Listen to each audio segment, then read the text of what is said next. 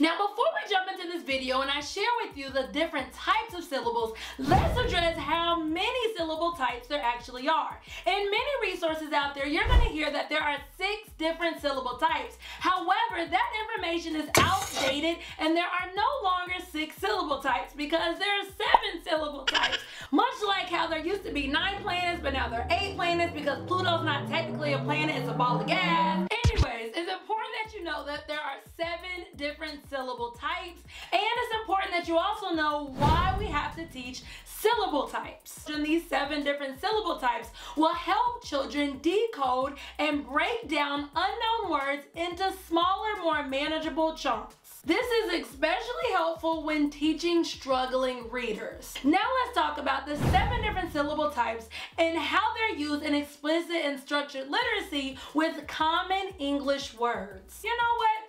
Just jump on the computer and show you. Closed syllables are simply when a syllable has a consonant to the right of the vowel. That vowel will make the short vowel sound, and the short vowel sound is the typical sound that we teach the children. So in the example, muffin, the U makes the uh sound and the I makes the I sound. So when you put those together, both of those syllables, muff and fin, are both closed syllables, making their vowels say the short vowel sound. Open syllables are simply when a syllable does not have a consonant to the right of the vowel. The vowel will be open, thus making it say the long vowel sound or say its name. We always say making the vowel say its name, and that's technically what it is doing.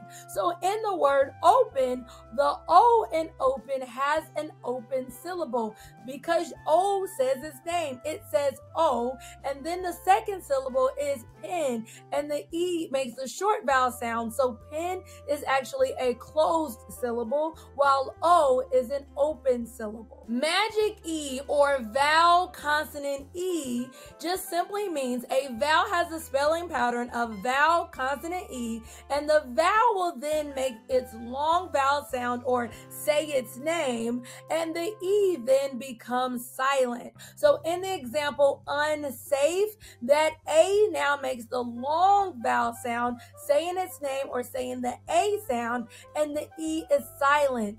Unsafe. The next syllable is bossy R or R controlled syllables. And this is simply when a vowel is immediately followed by the letter R. The R is so bossy that it overpowers the short vowel sound, such as the word utter. That E is overpowered by that R, making it make the er sound. We also have vowel team syllables. And this is simply when two vowels are side by side. The first first vowel will make its long vowel sound and the second vowel will become silent.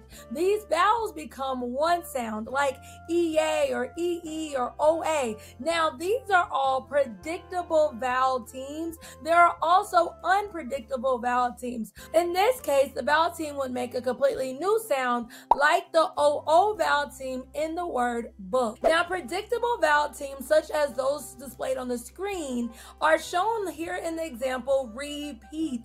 That E then says its long vowel sound and the A then becomes silent. Diphthongs are when two letters are combined and they make an entire new vowel sound, such as the sound oi in toy or all in the word awful. Next, we have consonant LE, and this is when a syllable ends in a consonant and then the letters L In this case, the consonant with the LE will be represented as a vowel sound and become its own syllable, such as in the word ample, pole becomes its own syllable. Now that you understand the different types of syllables, let's talk about which syllable should actually be taught first. Syllable types need to be taught in a very systematic way in order to avoid any major foundational learning gaps with children. I mean, if you don't do them in order, children will be even more confused than they already were in the first place. And now your chance to actually help them just drastically decrease.